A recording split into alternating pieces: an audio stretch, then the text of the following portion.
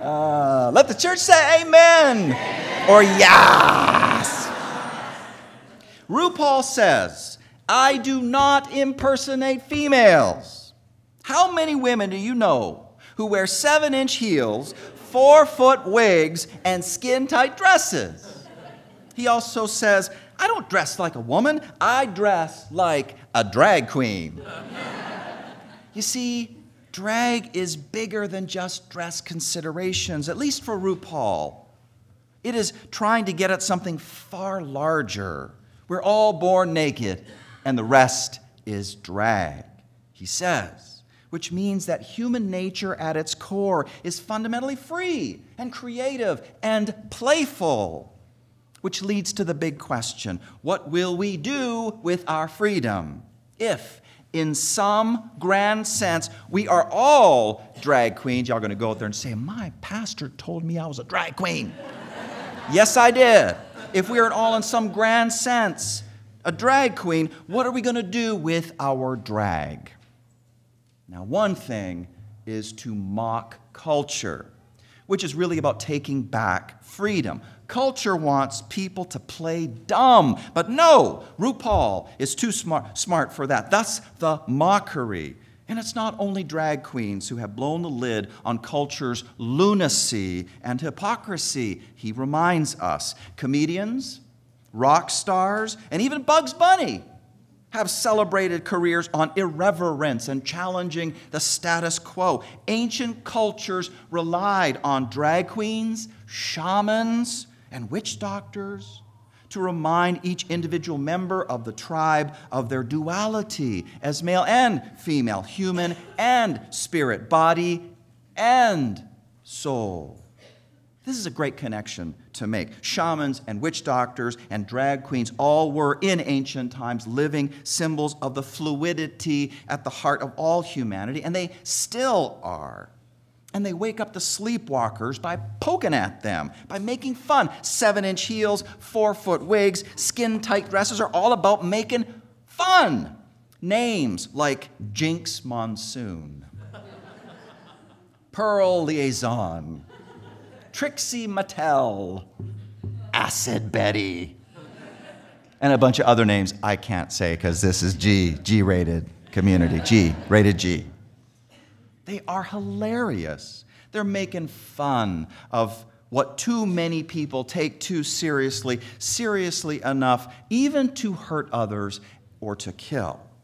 Matthew Shepard, Pulse.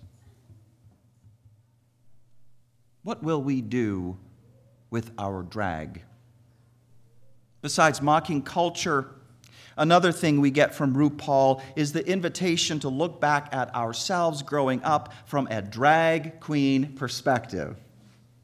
Remember the clip a moment ago when RuPaul invited folks to come up and speak to themselves when they were kids. Remember that? You were born naked, RuPaul says, but you've grown up to become a fierce drag queen. Here's a photo of you as a little bitty boy. Now, if you could time travel, what would you have to say to your little self? Now, we saw one of the four candidates. I want to share with you what Pearl had to say. Pearl came a little later in the video. We didn't see the whole thing because too many cuss words. So when it's Pearl's time, Pearl says, Ah, God, I'd have to start with a warning. You're about to enter the toughest years of your life, and it's going to suck really bad for a long time, and people are going to mess you up and take advantage of you, and people are going to be looking at you from across the room for so many years, and you are not going to understand why. And Pearl cries and cries. And then RuPaul asks, Do you understand why now? Pearl nods because she can't talk. She just nods, Yes, yes, yes. And then RuPaul says, You're a star, baby. Two quotes from RuPaul will help us make sense of what is happening here. Here's the first one When you become the image of your own imagination, it is the most powerful thing you could ever do. And then this quote if you are trigger happy and you're looking for a reason to reinforce your own victimhood, your own perception of yourself as a victim, you will look for everything to reinforce that. It all adds up to this now. To look at yourself from a drag queen perspective is to remember the pain of your life and to feel the temptation to reinforce your own sense of victimhood, but you don't. You step back from that. You choose to become the image of your own imagination. It is the most powerful thing you could ever do.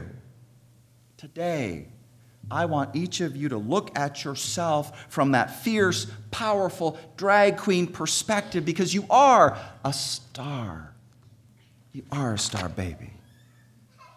And you are even more than that, according to RuPaul's gospel. There is yet another level to all of this. The truth is that you are an extension of the power that created the entire universe. The truth, he says, is that you are a spiritual being having a human experience. The human part of the experience is temporary. Think of it as a t shirt and jeans. Your spiritual being is not temporary, it is eternal. Think of it as the sun and the moon. That is why the saying, you are born naked and the rest is drag, couldn't be more true.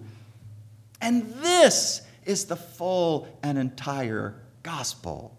Our drag actually does not end with our nakedness, but extends even to include our physical human body and our basic individuality that comes with a name and a history. Be- before all of that, you were. You are eternal. A Vedanta Hindu would put it like this Atman is Brahman. But RuPaul just says, You are God in drag.